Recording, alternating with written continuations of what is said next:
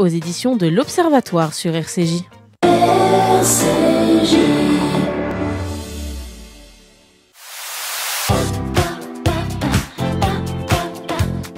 Essentiel, le rendez-vous culture de RCJ, Sandrine Seban. Et dans Essentiel aujourd'hui, on va parler de deux romans. Philippe Grimbert, bonjour. Professeur Philippe Grimbert, qu'on a le plaisir de retrouver sur RCJ le dimanche, une fois par mois avec le professeur José Cohen pour votre émission euh, Médecine au carrefour des sciences. Euh, mais là, ce n'est pas le médecin que je reçois, c'est euh, l'écrivain 39,4. Ça vient de paraître aux éditions Le Dilettante. Et à vos côtés, Jean-Michel Guénassia. Bonjour. Bonjour. Merci beaucoup d'être avec nous. On va parler avec vous de votre dernier livre, Les Terres Promises. C'est un roman aux éditions Albin Michel. C'est la suite du Club des Incorrigibles Optimistes. je n'avais pas eu la chance de lire le premier, euh, mais j'ai adoré celui-là. Je peux le lire quand même le premier maintenant, vous croyez, Jean-Michel? Absolument. les, deux sont, enfin celui-là est conçu pour être indépendant et, autonome. D'ailleurs, c'est intéressant. Mais oui. Vous l'avez lu, je ne sais pas si euh, vous avez tout compris, si vous êtes rentré dedans. Donc, euh, Totalement. c'est, je l'ai écrit pour qu'il soit autonome. Et en même temps que ceux qui ont lu le premier puissent retrouver avec bonheur. Surtout qu'il est paru il y a 12 ans. Donc... bah, ça fait un petit moment. C'est-à-dire qu'il vous a fallu 12 ans pour écrire celui-là? Vous avez fait d'autres choses entre temps, mais oui. Cinq autres entre temps. Voilà. Et puis j'ai pas, j'avais pas trouvé l'histoire avant. La suite de l'histoire. Alors on va euh, en parler. L'émission s'appelle Essentiel. Ma première question euh, à mes invités est toujours qu'est-ce qui est essentiel pour vous dans la vie, Philippe Grimbert? Une vaste question. Mais oui. Qu'est-ce qui est essentiel? Bah, euh, en, en, cette période un peu un peu difficile et de part d'une part mon activité et puis ce qui ce qui euh, concerne, je crois, tout à chacun, c'est euh, retrouver ce dont nous sommes privés. Ça me paraît absolument essentiel. Moi, je, je, je sais à quel point nous sommes euh, tous confrontés à des, à des mesures contraignantes qui sont nécessaires, mais qui nous privent, à mon sens également, de quelque chose d'absolument essentiel, que sont euh, les liens, que sont ce qu'est euh, ce être ensemble, ce qu'est ce qui fait ce qui fait aussi civilisation et ce qui peut-être euh, m'inquiète un peu dans ce qui se dessine aujourd'hui d'une nouvelle forme d'organisation de nos vies, de mise à distance les uns des autres, d'enseignement, de pédagogie, de communication ou J'espère ce terrible virus ne laissera pas une empreinte trop prégnante dans ce que sera le monde d'après, mm. parce que je, je, ressens très fortement cette, euh, cette, euh, ce manque-là, et donc euh, peut-être c'est cela qui me ramène à ce qui me semble essentiel. Mm. Jean-Michel Ganassia, qu'est-ce qui est essentiel pour vous? Je précise à chaque fois, ça peut être quelque chose de très sérieux, comme ça peut être totalement futile. Bah, longtemps, je pensais que c'était la recherche du bonheur, enfin, qu'on mm-hmm. était on n'avait pas tellement de temps sur cette terre. Euh, l'essentiel, c'est aussi éviter les emmerdements. euh, donc, euh, n'étant pas, euh, n'ayant pas été touché, donc j'ai un masque. oui, mais vous avez raison. Chacun, je me protège, je protège les autres. on vit sous, on a l'impression de vivre sous surveillance, sous cloche. C'est bizarre. Donc, hein on attend, on attend, on, on, fait la tortue, on attend que la vague passe, en espérant ne pas être emporté ou qu'il n'y en aura pas une autre. Hmm. Et les dernières questions au professeur de médecine, après on va parler que des écrivains. Euh, on attend là les décisions hautes. Vous, vous êtes vacciné, euh, Philippe. Oui. Euh, c'est pour ça que vous n'avez pas de masque. Euh, j'ai encore des anticorps. Bon, on, raconte notre vie aux gens, du coup, ben, on est obligé de raconter notre vie pour. Euh, voilà, mais on continue de protéger évidemment tout le monde. Et en même temps, on voit les images incroyables en Israël où ils sont dehors, où tout est réouvert, où ils font la fête, où bah, la vie normale. on a l'impression que ça a repris en fait bah. complètement. C'est ce qui donne de l'espoir, clairement. Bien sûr, le, vaccin, ça marche. Je crois qu'il n'y a pas de doute là-dessus. Euh, c'est une nécessité, un impératif euh, absolu. Euh, les pays qui réussiront à vacciner massivement leur population sortiront, c'est une évidence, de cette situation. Euh, L'Europe est dans une situation contrastée avec euh, probablement euh, des défis logistiques qu'on a du mal parfois à relever, probablement également une organisation qui n'est pas optimale. Il faut on va dire, ça comme ça, voilà. avec néanmoins des contraintes. On n'est pas, on n'est pas en Israël. On a vacciné plus de 70 millions de personnes, en tout mm. cas plus de 40 millions et pas moins de 10 millions. C'est pas tout à fait la même, la même contrainte, mais néanmoins c'est un impératif. Il faut se faire vacciner. Il faudra se faire vacciner et une fois levées les petites réticences probablement peu justifiées qui ont limité l'accès au vaccin AstraZeneca, permettent à la plus grande partie de la population d'accéder à ces vaccins. Alors on va parler littérature avec vous deux. Il y a plein de points communs, vous allez voir dans vos livres, peut-être dans vos euh, parcours. Euh, Philippe Grimbert, je crois que je, je, ne pose jamais cette question à mes invités en première question. Ils me regardent en se disant qu'est-ce qu'elle va me sortir? Vous avez quel âge, Philippe Grimbert? Alors, vous voulez mon âge réel ou mon C'est âge le but du physiologique C'est comme vous le sentez. Ben, Vous savez, je, je suis arrivé à un moment de ma vie où quand on me demande mon âge, je marque un temps d'hésitation, comme Oui. si je faisais des efforts désespérés pour l'oublier ou pour moins y penser. Donc j'ai 56 ans, bientôt 57.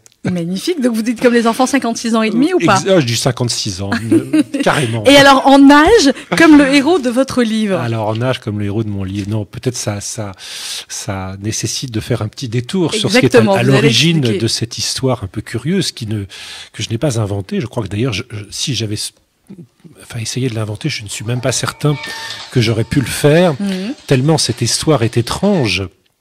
Et euh, elle vient d'un fait divers euh, qui vous a peut-être échappé parce oui. qu'il a été assez peu commenté. Mais moi, il se trouve que je- j'ai eu la, euh, pas probablement par hasard, j'ai eu accès à cette information il y a à peu près deux ans de cela et appris donc un citoyen néerlandais, euh, par ailleurs, euh, je crois, euh, chef d'une petite formation populiste d'extrême droite dans son pays, âgé de 65 ou de 67 ans, je ne sais plus très bien. Bref, très bien de sa personne, en parfait état de santé, se trouvant d'ailleurs physiquement euh, euh, bien plus jeune que son âge, que l'âge qui lui était attribué, a donc entrepris auprès de la justice de son pays et ensuite euh, au-delà une procédure pour obtenir une révision De son âge. de son âge civil et une diminution de près de 20 ans, donc de deux décennies de son âge civil.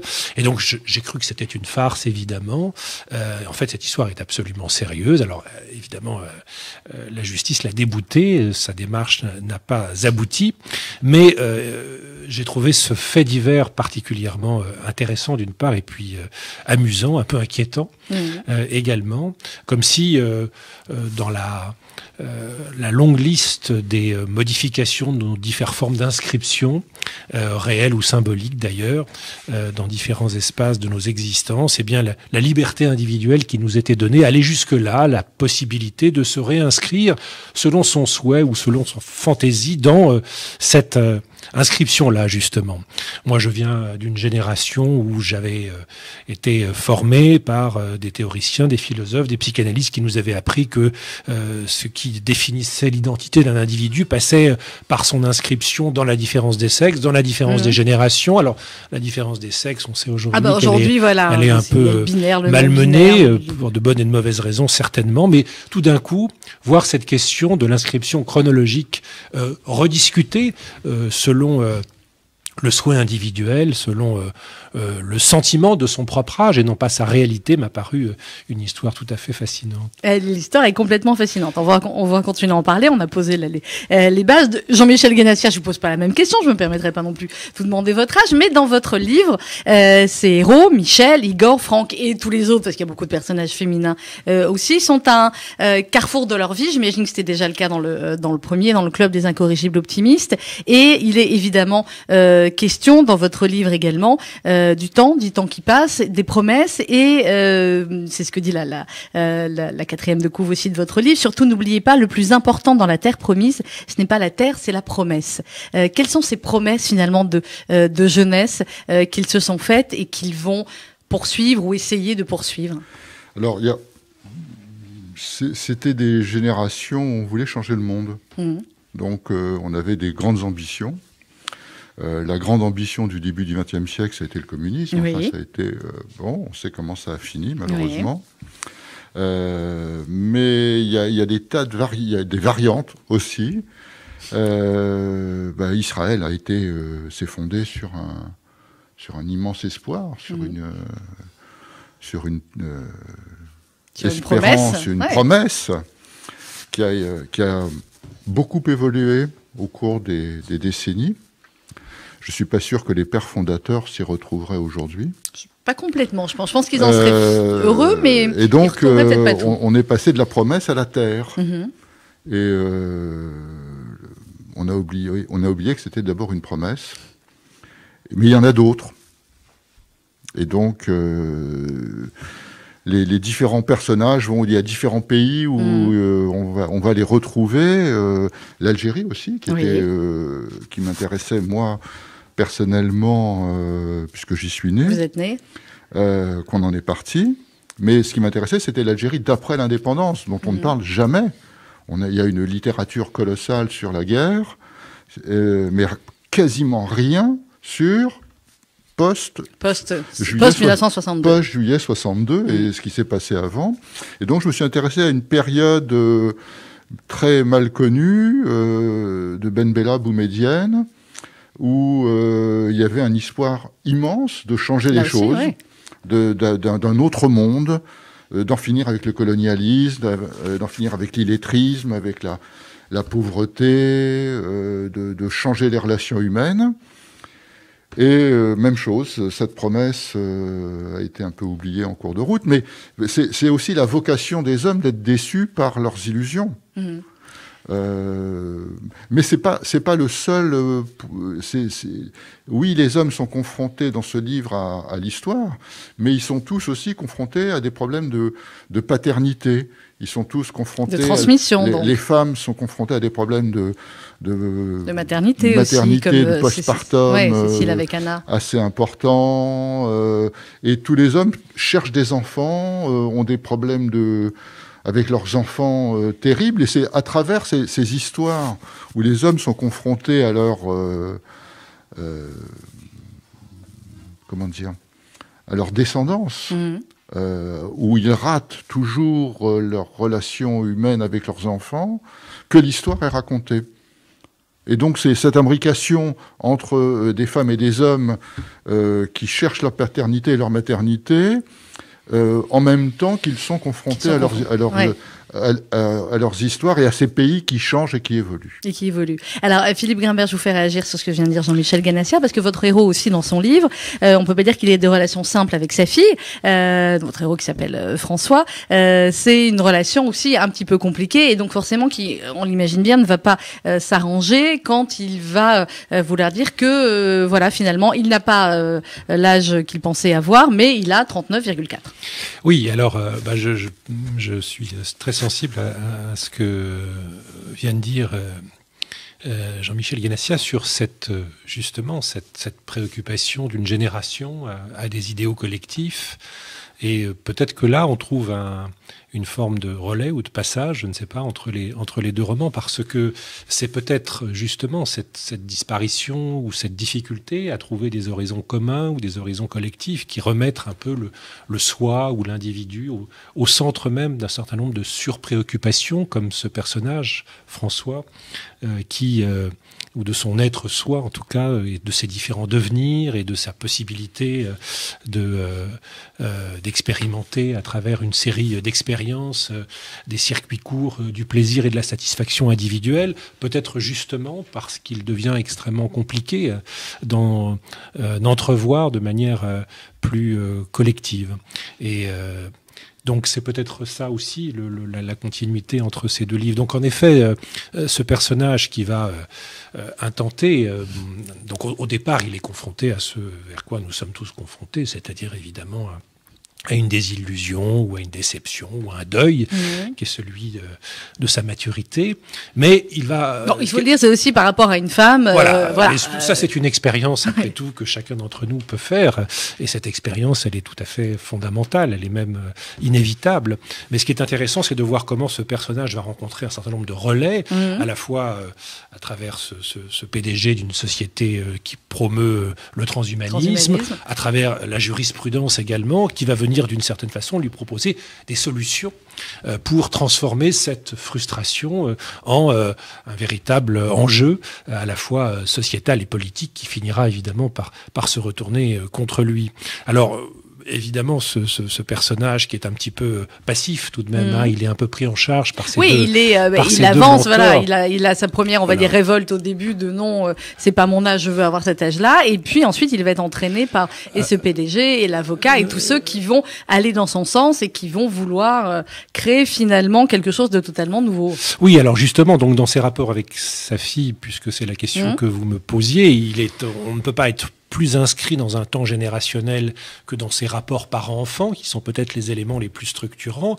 Et je trouve qu'on vit quand même une période où la question de ces limites et de ces inscriptions chronologiques deviennent de plus en plus floues. On a l'impression qu'on accède à la maturité euh, à des âges absolument canoniques aujourd'hui par rapport au règne animal où un, animal est mature à, à, quelques mois ou un an, deux ans. On a l'impression que cette jeunesse se prolonge comme ça d'une façon euh, particulière dans notre société occidentale. Et puis, euh, inversement, il y a euh, cette, difficulté à vieillir et cette, euh, cette volonté un peu d'effacement de cette expérience du temps, ce qui crée des, zones d'entre-deux ou des zones de grande confusion générationnelle, et on le voit d'ailleurs à travers euh, la valorisation d'un certain nombre de comportements assez régressifs de la part des adultes, qui met ce père dans sa relation avec sa fille dans une situation parfois de presque égalité, qui est évidemment très troublante, surtout pour elle, qui ressent très violemment comme le manque d'une une inscription temporelle oui, et, dont la démarche de son père, qui euh, finalement euh, s'inscrit dans celle d'un rajeunissement ou d'une réassignation de son âge chronologique,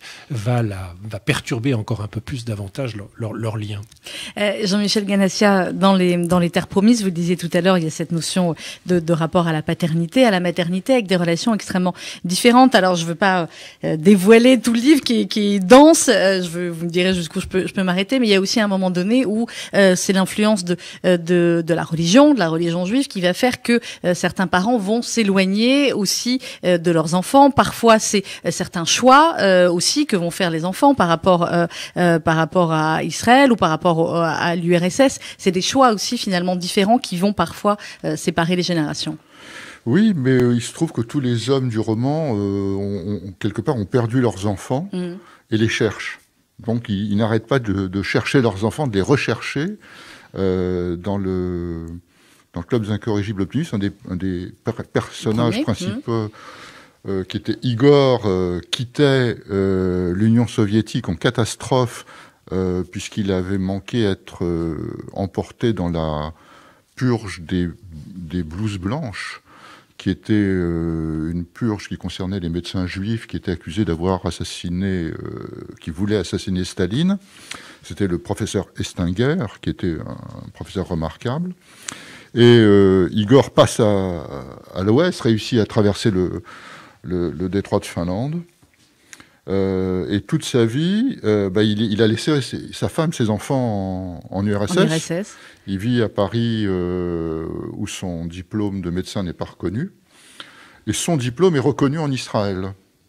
Et donc, pendant très longtemps, il va, il va se dire, je peux pas aller en, en j'en ai marre de faire le taxi en France, je vais aller en Israël où mon diplôme est reconnu.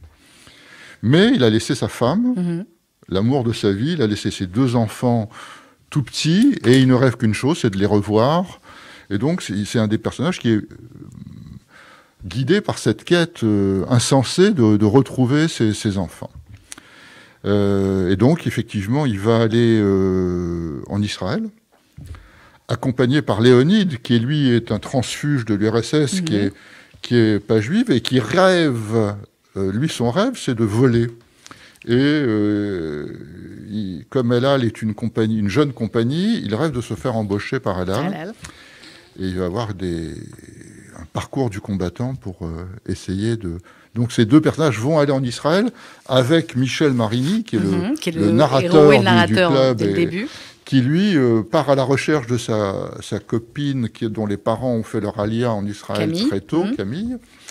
Et sauf qu'il ne sait pas où, où, où, elle est, dans quel kibbutz elle est. Et euh, ils vont aller tous les trois en Israël pour euh, rechercher chacun un, un, leur destin finalement.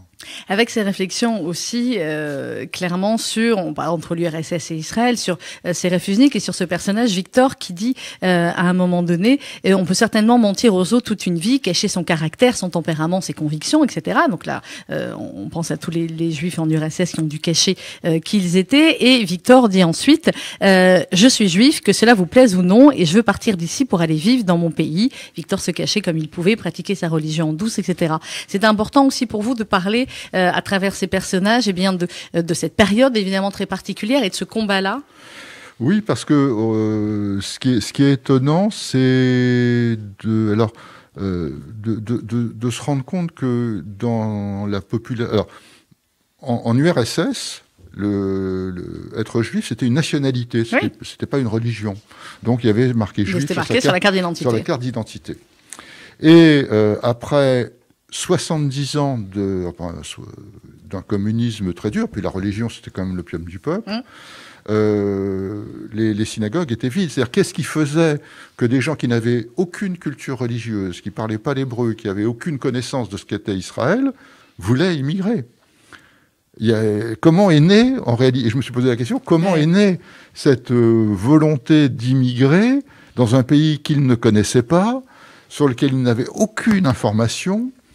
Euh, et donc, je me suis intéressé à la toute première vague des refusniks et comment euh, les, Israéliens ont tout fait pour euh, faire venir les Juifs du, RSS en Israël, puisqu'ils étaient confrontés à un problème. C'était un, tout petit pays. Il n'y avait que 2 millions et demi eh d'habitants en Israël à ce moment-là. Et autour d'eux, ils étaient confrontés à des, à des pays qui étaient 20 euh, fois plus euh, peuplés. Et donc, la, survie d'Israël passait obligatoirement par, l'ALIA de, de, de, millions, enfin, des, de 3 millions de, de juifs russes il a bien fallu que euh, les services israéliens, enfin le service israélien euh, qui va devenir l'agence juive, euh, ben, sème dans la population russe des, graines, des graines mmh. pour faire naître cette envie. Et donc j'ai eu la chance de rencontrer des gens qui m'ont parlé de, cette, de ces histoires-là. Mmh. Alors, on va y revenir. Euh, Philippe Grimbert, dans, votre livre, on a parlé du, lien entre le héros et sa fille, mais c'est vrai qu'il a des liens aussi, on va dire, un peu particuliers avec ses parents, avec ses grands-parents, avec les autres de manière générale. Euh, on s'y attache très vite à ce François. J'aime pas la fin d'ailleurs. Je vous l'ai dit que n'aimais pas la fin. Je la raconterai pas, mais alors je n'aime pas votre fin, Philippe Grimbert. On en parlera en antenne. Euh, il a des relations quand même très particulières. Bon, avec les femmes, c'est une chose, mais avec les autres êtres humains en général. On a l'impression qu'il est un peu, voilà voilà, au-dessus du lot et qu'il regarde un peu tout ça, euh, qu'il est un peu extérieur finalement à sa propre vie d'un certain très, Il est très isolé et très flottant. Il, il, il, appartient peut-être à, un groupe qui n'est plus un groupe, qui est un microcosme d'individus qui lui ressemblent, avec le minimum d'inscription possible, à la fois sur le plan, donc évidemment euh, très loin, et c'est un, c'est un, euh, une, une, réflexion non pas sur la question de l'identité, mais sur la désinscription mmh. pour être dans cette, dans ce flottement permanent, donc euh, à l'inverse de ces personnages dont vous parliez, euh, qui sont euh, évidemment dans une, dans une quête d'une toute autre nature. Donc se désinscrire de ses origines, se désinscrire de ses liens évidemment de fils et puis plus tard de père, pour être donc dans, cette, dans ce rapport à soi, dans ces circuits courts du plaisir. Alors évidemment, j'en ai fait également un, un, gérontophobe, parce que c'est ce qui caractérise cet homme, ce, ce, ce terme existe, mais je ne suis pas certain qu'il soit. Euh, Peur irraisonnée de la vieillesse, parfois associée à une attitude hostile, euh, d'évitement ou de dédain à l'égard des personnes âgées, définissait fort bien ce qu'il ressentait. Oui, absolument. Donc voilà, il a, il a, il a, une, il a une sorte de réaction euh, phobique. Et d'ailleurs, ce qui est intéressant, c'est que cette réaction phobique, qui est peut-être plus ou moins partagée, là n'est pas la question, mais elle va être traitée comme telle, c'est-à-dire mm. comme un processus vis-à-vis duquel il faut mettre en place un procédé d'éviction. Hein, et donc, euh, c'est bien ce que vont lui proposer euh, ces euh, scientifiques qui animent cette société transhumaniste en trouvant que finalement, son combat pour une réinscription libre rejoint tout à fait les objectifs et les idéaux de, de l'homme augmenté, hein, sans, sans limite, et une manière donc de, de s'affranchir du temps.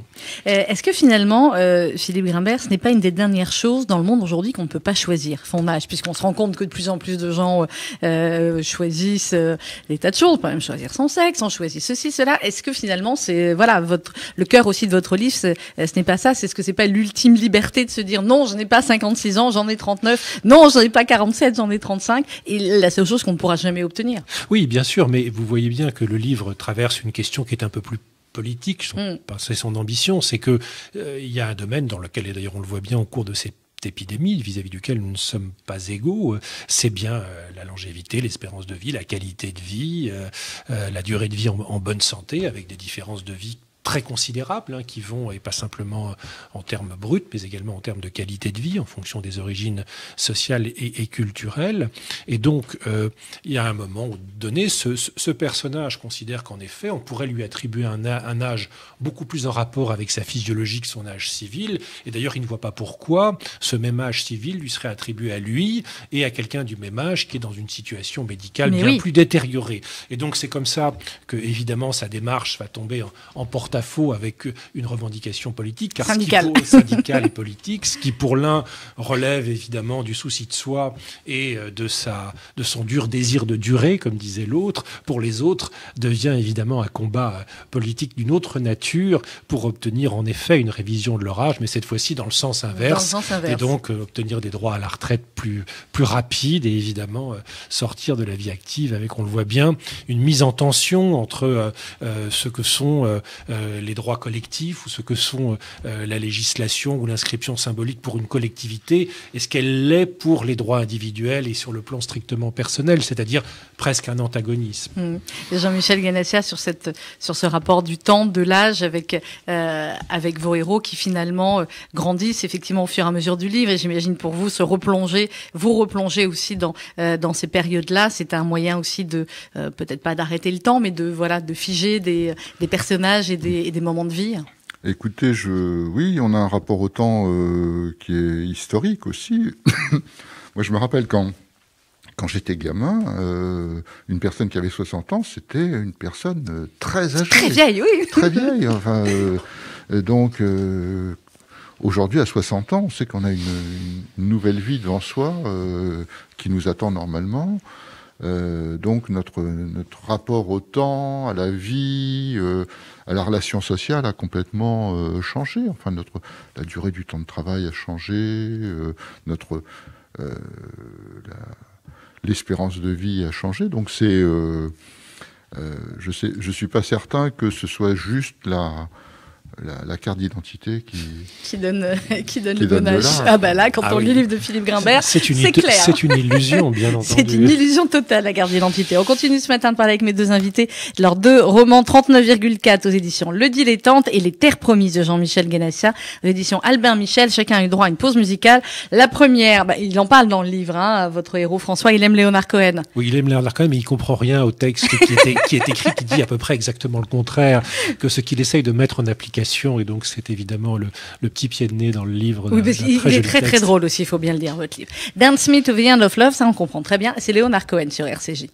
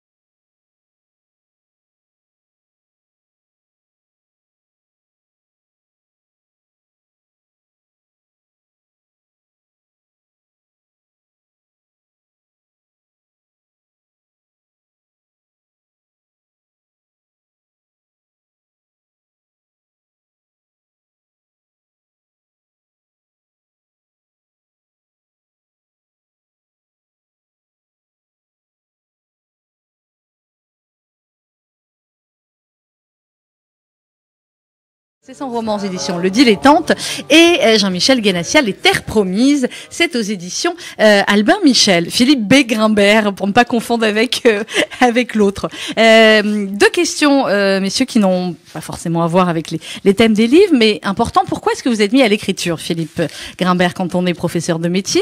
Et vous, je crois, Jean-Michel Guénassia, qu'avant l'écriture, vous aviez un, un autre métier aussi? J'ai été avocat pendant six ans. Voilà, vous, alors six ans, c'est un peu court, mais néanmoins. Qu'est-ce qu'est-ce qui a fait l'écriture, Philippe? Alors moi, l'écriture, d'abord, c'est une, c'est la seule religion euh, familiale. c'est la religion de mon père. Enfin, la lecture, la littérature, la grande littérature. Euh, et donc moi, j'ai vécu avec un père qui vivait dans les livres et qui lisait. euh, tout le temps, je crois que je l'ai toujours vu lire euh, la nuit, le, jour, me, pourchasser avec ces, extraits de romans de la, de la grande littérature euh, française, russe, euh, allemande, juive. Et de ce fait, j'ai eu une relation particulière avec l'écriture, c'est-à-dire à la fois l'impression que évidemment il y avait quelque chose d'une certaine sacralité, mais en même temps évidemment c'était très inhibant et, et pour moi écrire était absolument impossible. Et il m'a fallu des années, des années et des années avant de pouvoir ne serait-ce que commettre ce geste hein, D'écrire de Ouais. l'écriture qui était vraiment euh, absolument impossible. Je fais la psy de comptoir ou pas? Il a fallu attendre que, votre père ne puisse pas le lire ou Peut-être. Ouais. Peut-être, en effet, ça s'est ça s'est passé comme ça. D'ailleurs, euh, ça s'est passé comme ça dans les Mm. faits, même s'il a fallu, euh, même si l'écriture est venue bien après sa mort. Mais en tout cas, euh, je, je- je pense aujourd'hui à, à- à quel point mon appréhension aurait été grande si je j'avais su qu'il a- qu'il pouvait porter un regard sur l'écriture. Et puis, un, jour, alors, euh, on ne sait pas, ça fait partie des, mystères de l'existence, quelque chose se défait ou, se simplifie. En tout cas, euh, on peut tout d'un coup euh, accéder à ça. Qu'est-ce qu'on en fait? C'est souvent très éloigné de, évidemment, de, de l'idée qu'on pouvait en avoir. Mais en tout cas, euh, on passe de quelque chose d'impossible à quelque chose de possible. Moi, je ne fais pas du tout partie de ces gens qui disent qu'ils écrivent depuis qu'ils sont tout petits et qui tiennent des carnets, etc. Pas du tout. Moi, j'ai vécu dans un monde sans l'écriture pendant très longtemps, plus Ouais. de 50 ans, à un moment de ma vie où l'écriture est devenue quelque chose, euh, j'espère en tout cas euh, pour moi, Ah bah, pour j'ai- moi. j'espère aussi parce que franchement, d'important et hum, voilà. Et donc euh, c'est aussi important quand on est un lecteur parce que lecteur je, l'ai toujours été de pouvoir à un moment donné euh, euh, voilà passer à l'acte de, de cet artisanat Mm. parce que c'est un c'est je crois un, un artisanat dans lequel on, on mesure quand on quand on débute l'immensité du du, tra- du travail qui, qui- qu'on a devant soi et, et voilà la ce qui est, heureux pour moi c'est que finalement on, on peut, on peut s'y mettre tard c'est pas le cas de la musique C'est pas le cas, ouais, c'est plus, c'est plus compliqué. Et je vais vous laisser répondre. Jean-Michel Guénassia, sur l'écriture, mais avant cela, je vais lire juste un petit extrait de votre livre. Euh, et c'est Habib euh, qui, qui parle. Et, euh, et Franck, un des personnages, lui dit, euh, c'est incroyable, je n'ai jamais vu personne lire autant que lui, c'est pour faire écho à ce que vous dites et à votre papa. Euh, ne dis pas cela, mon ami, euh, cette abondance ne représente rien que quelques grains de sable dans le désert. Combien de livres as-tu lu et combien en liras-tu avant que Dieu te rappelle à lui? Admettons qu'à partir de l'âge de 10 ans, tu lises un livre par semaine. Cela n'en fera que 52 dans l'année. Si Dieu t'accorde une longue vie et une bonne santé, au bout de 70 ans, tu n'auras lu que 3600 livres, à condition de ne pas toucher à ces gros romans français qui demandent à eux seuls une année de concentration au moins, tellement ils sont volumineux. D'après toi, combien y a-t-il de livres à lire? Des millions. Plus que d'étoiles dans le ciel. Combien de centaines de milliers de livres passionnants à côté desquels nous allons passer? Combien de milliers d'auteurs remarquables dont on ne saura rien comme s'ils n'avaient pas existé? Quel gâchis Et encore, moi j'ai eu la chance d'avoir une existence préservée, une santé de chameau, jamais malade à part quelques rages de dents et de ne pas être parti à la guerre. J'ai lu chaque jour et chaque nuit que Dieu m'a donné depuis 60 années. J'ai eu une vie de rêve comme peu d'êtres humains et pourtant je ne suis qu'une grenouille stupide qui jamais ne pourra parcourir la montagne de la culture. C'est pourquoi plus je lis, plus je me désespère de ce que je ne lirai pas. C'est beau, hein?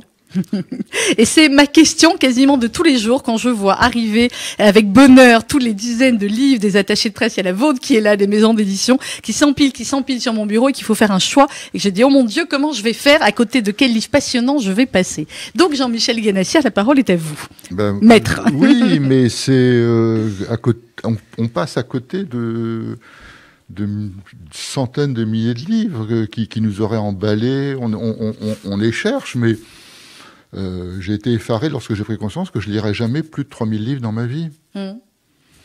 Euh, Mais c'est oui. ridicule. la, la, la première librairie venue en, en a 10 ou 12 000 en stock. Euh, je parle pas de la Fnac ou de Cultura. Donc, on, on les connaît de, par mémoire et on, on, on les, on les oublie très vite. Et, donc, même en lisant beaucoup, on, lira pas grand-chose. Alors en écrivant beaucoup, comment vous êtes venu à l'écriture, vous, Moi, après l'avocat Euh, je, je suis devenu avocat par défaut parce que je savais Mhm. pas quoi faire. De, Que vous ne pouviez pas faire médecin pour les familles Non, j'étais tellement nul en maths que c'était inenvisageable.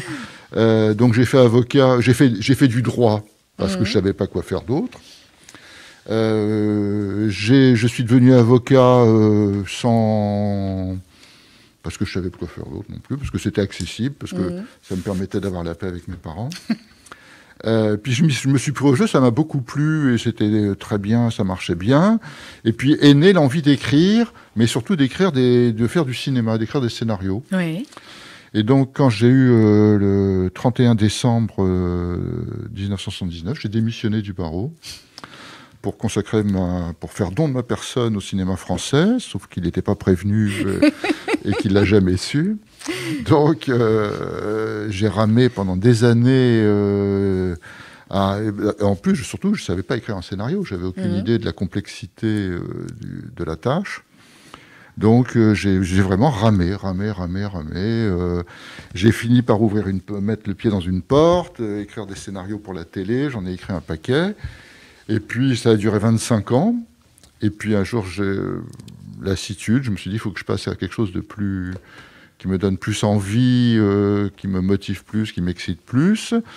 Les, les thèmes que je voulais aborder étaient inenvisageables à la télévision. Mhm. C'était euh, leur proposer une histoire sur des réfugiés russes, ça les. Ouais, ça ne faisait pas. C'était inenvisageable. Donc je, je suis parti vers l'écriture de Vous vers avez bien. Voilà. Vous avez bien. Mais ceci dit, c'est vrai que quand on lit euh, vos livres, on les voit bien. Hein, le film, il serait beau le film là. Hein, euh, il faudra un petit peu de moyens pour aller dans tous les pays, mais euh, mais ça ferait effectivement un, euh, un très beau film. Euh, Michel, Igor, Franck, euh, Camille et, et Louise, et Jimmy. euh, c'est vrai que là, avec Jimmy, on voit aussi un petit peu le- le- l'importance du, du cinéma dans votre vie. Euh, vous les avez connus? C'est une partie de vous C'est une partie Ça de vos été- copains de l'époque? J'en- ai croisé quelques-uns quand j'étais jeune où il y avait euh, des, beaucoup de réfugiés d'Europe de l'Est et qui étaient euh, des d'abord des apatrides, Mhm. des gens qui avaient fui euh, l'Union, enfin les pays de l'Est, beaucoup la Hongrie, l'Allemagne de l'Est, euh, et qui étaient en plus mal accueillis parce qu'ils c'était la mauvaise conscience de la gauche, donc on- on- ils n'étaient pas aidés. Euh, donc c'est voilà, c'est je- oui j'en ai croisé certains et euh, le- leur histoire m'intéressait, leur parcours m'intéressait. C'est le parcours aussi de bon nombre de, euh, de personnes. Vous parliez des idéaux du, du communisme. Hein, moment donné, on a écrit le communisme est une morale de tous ceux qui finalement avaient des idéaux euh, de jeunesse et qui et qui les ont perdus aussi bien pour le communisme que euh, que sur l'Algérie, que euh, voilà sur tout ce qui euh, effectivement étaient les grands les grands idéaux du Oui. XXe c'est- siècle. C'est pour ça que j'ai écrit ce livre parce que euh, je me suis, j'ai pris conscience euh, il, y a, il y a quelques années, quand, j'ai eu l'idée du roman, que la, la nouvelle terre promise, c'était la foi en réalité. Oui. Euh, la, la, foi, la foi exacerbée qu'on retrouve euh, ben, effectivement en Israël, mais que moi je suis allé en Russie, j'ai été époustouflé de voir la ferveur, les églises bondées des pèlerinages avec des centaines de milliers de personnes, une, une foi, une ferveur euh, dans un pays qui, avait été euh, privé de toute éducation religieuse, et cette foi et cette ferveur qu'on retrouve dans plein d'autres pays, dans, les pays musulmans, avec les fondamentalistes euh, catholiques, chrétiens, enfin. Euh, et donc, je me suis demandé si Le euh, 21e siècle est religieux ou ne serait pas. ah, voilà, ça, ça faisait effectivement écho à la, à la phrase de Malraux. Et donc, je, je suis allé avec ce personnage qui passe du communisme à- au mysticisme et à, à- à la foi, euh, puisque c'est ça, le en fin de compte, l'autre sujet du roman. Oui, oui. Euh, alors, Philippe Grimbert, justement sur, sur la foi, c'est les- votre héros, François, euh, il a foi en quoi finalement Au fur et à mesure, il a foi en la science, il a mais foi en lui. il, le- il a foi en lui, ça on est bien d'accord. Mais euh, ça peut être aussi, on va dire, c'est euh, de se croire plus fort que plus fort que Dieu entre guillemets, ou plus fort que le destin, ou plus fort que le euh, que la notion même d'être humain qui euh, normalement ben naît, vit et meurt. Oui, bah c'est c'est ce qu'il y a de, d'à la fois euh, peut-être exaltant pour certains et terrifiant pour d'autres dans cette, cette formidable ou cette grande ambition du transhumanisme, de cette, euh, cet idéal de l'homme augmenté. Hein, donc l'homme augmenté qui est, qui est déjà là, hein, qui est déjà parmi nous et dont nous profitons chaque jour, mais comme si finalement euh, euh, c'est, euh, ce que la science avait aujourd'hui à dire sur l'homme s'adressait surtout à lui en ces termes-là, c'est-à-dire euh, une façon donc de s'interposer dans un certain nombre de ces expériences symboliques pour les, les modifier, les prolonger ou en annuler certaines des étapes euh, euh, indispensables comme le vieillissement euh, ou la mort. Alors le transhumanisme donc fait partie évidemment de cette de ce courant idéologique dans lequel des, des quantités d'argent absolument phénoménales sont sont investies, qui sont évidemment au, carrefour de cette de ce monde ultra technicisé dans lequel nous vivons. C'est surtout une économie des promesses, mais pas des promesses au sens où euh, vous en parliez, hein, car ce ne sont pas des promesses euh, euh, pour pour les civilisations, ce sont des promesses pour les individus. C'est un marché des promesses, avec probablement également beaucoup, beaucoup d'utopies et beaucoup de, de- et beaucoup de promesses qui ne seront pas, qui ne seront pas tenues, euh, mais dans lequel ce personnage, donc euh, François, trouve un, un relais et un écho euh, très favorable à son, à son Alors, ambition personnelle. Ouais, il trouve là chez comment vous le prononcez, Jeanne, euh, Jeanne, Géant, Géant, Euh, géant, ce, ce, ce PDG de cette ce, société ce un peu. Voilà, euh, un peu un peu bizarre et qui est capable de citer dans le même discours euh, à la fois Alice euh, du euh, au pays des merveilles et Albert Camus euh, où il dit que l'homme euh, écrivait Albert Camus l'homme donc est la seule créature qui refuse d'être ce qu'elle est. Eh oui, eh oui.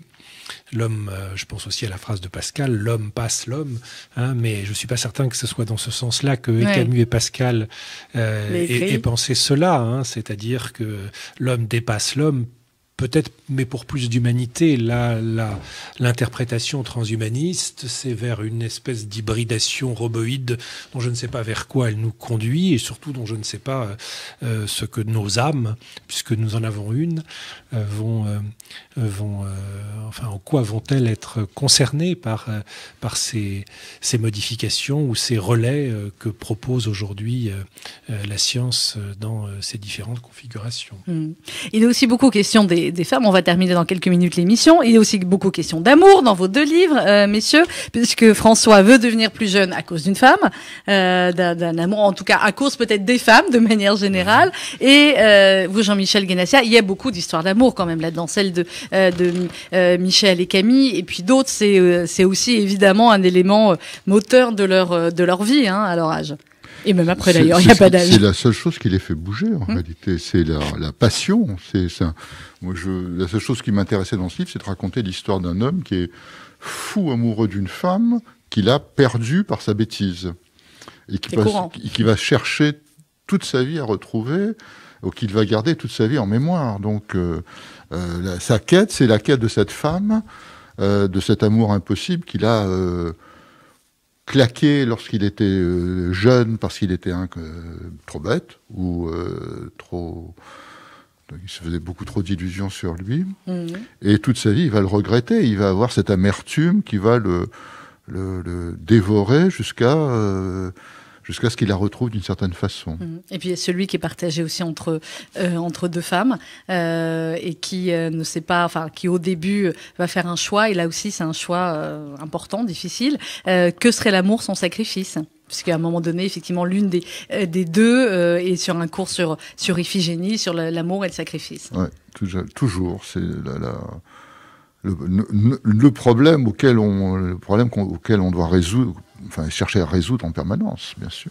Est-ce qu'il y a une suite, euh, Jean-Michel Guénassia, euh, euh, aux terres promises? Écoutez, euh, une suite. vois l'attaché de presse qui bouge derrière. Non, non, pas, pas, pas dans l'immédiat. Il m'a fallu quand même dix ans de Ben oui, réflexion. je sais. Il faut trouver l'idée. Je suis passé sur un autre roman aujourd'hui, Oui. qui, est, qui, est, compliqué à écrire, qui est, qui est difficile, mais Peut-être, j'ai encore des personnages qui ont certainement des choses à dire. Ben oui, j'en doute pas. Prix Goncourt des lycéens en 2009, ça c'était pour le club des incorrigibles optimistes, prix des lecteurs aussi du livre de poche. Euh, c'était chouette d'avoir ce Goncourt des lycéens, d'être reconnu ah, comme ça. C'est extraordinaire, oui. c'est vraiment une, euh, ça a été un coup de pouce euh, inattendu et euh, exceptionnel. Ça, un coup de projecteur euh, que je souhaite à tout le monde. Mais oui, clairement. Euh, Philippe B. Grimbert, c'est quoi le B? C'est le deuxième prénom, histoire de...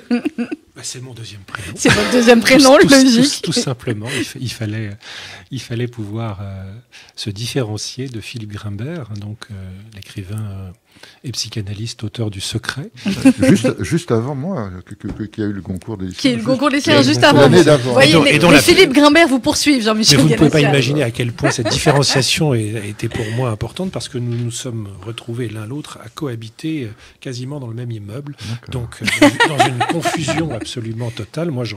je vous receviez Lui recevait des comptes rendus de, je, je, je, ne savais pas à cette époque que cette, euh, la question de, notre séparation nous pousserait jusqu'à jusqu'à ce point. Jusqu'à là. Euh, dernière question, Philippe Grimbert, parce que dans votre livre, évidemment, derrière cette quête de, jeunesse, on l'a dit, c'est la vie, c'est la mort. Quand on est un professeur éminent comme vous, euh, c'est peu de le dire, qui avait finalement euh, la vie et la mort de gens entre vos mains, parce que vous occupez notamment de greffe.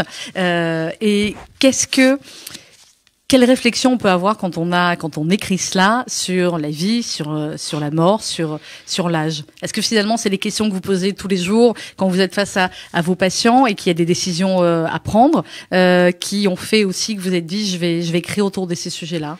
Oui, c'est vrai, bien sûr. C'est c'est une c'est une c'est une vraie question.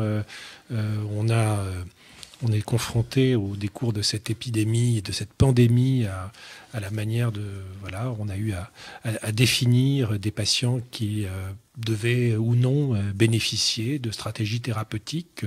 Comment est-ce qu'on prend des décisions euh, comme celle-là? On n'a évidemment pas cette, cette toute puissance qui nous permet de la, de la définir et l'analyser au mieux. Donc c'est forcément une, une réflexion extrêmement dense et, complexe.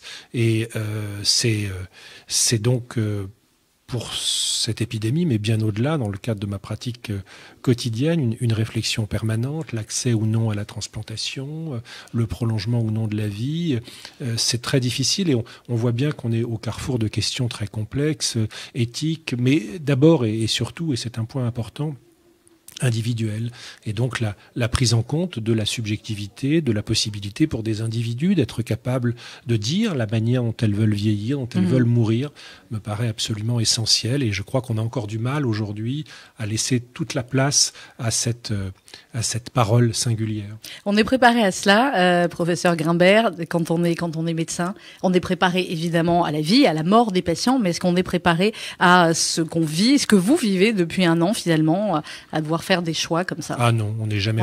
heureusement qu'on n'est jamais préparé mm. à ça, sinon ça devient une technique. Mm. Et euh, heureusement que ça n'est pas une technique. La question de la vie et de la mort, c'est une, question euh, bien plus complexe. Ni la, ni la vieillesse, ni l'âge. Clairement. Merci beaucoup à tous les deux. Merci beaucoup Jean-Michel Guénessia. Merci à vous. Euh, les Terres Promises, avec une magnifique couverture. Elle est belle cette couverture. Hein. Elle est splendide. ça vient de paraître chez Albin Michel. Philippe Begrimbert, merci beaucoup d'avoir été avec nous. 39,4. Il y a plein de chiffres hein, sur votre couverture. Ah oui, ça, c'est le talent des, des, éditions du Dilettante qui fait toujours des couvertures merveilleuses. Mais je, oui, je les remercie et C'est euh, extrêmement important. Euh, on vous retrouve sur RCG dans Médecine au carrefour des sciences. Ça, c'est la directrice d'antenne qui en parle et qui en est très fière de cette magnifique émission que vous faites avec le professeur euh, José Cohen. Dans quelques instants, vous allez retrouver. On termine avec Simon Garfunkel. Euh, dans quelques instants, vous allez retrouver RCJ Midi présenté par Rudy Saada avec euh, eh bien nos deux euh, journalistes, anciens journalistes de euh, Beurre Rosa Méziane et euh, Malik qui vont interviewer l'ambassadeur d'Israël en France, Daniel Saada. C'est dans un instant et c'est en direct sur RCJ.